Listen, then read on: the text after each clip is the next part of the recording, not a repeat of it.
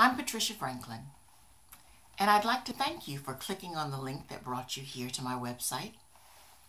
Thank you. Thank you. I'm really excited to be able to share with you things that have meaning in my life, which really includes anything that's artsy. I call myself an artspreneur because I enjoy the arts so much. Why the arts? I don't know. The arts excite me.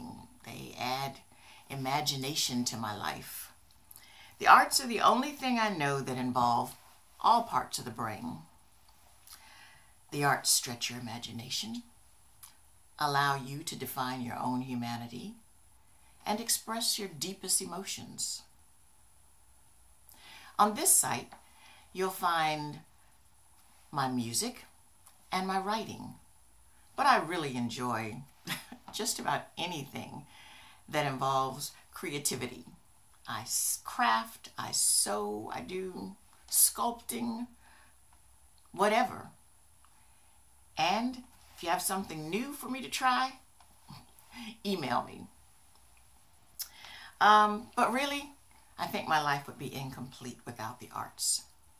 I'm so happy that I'm able to do the things that I enjoy so much. Take some time, look around on the site.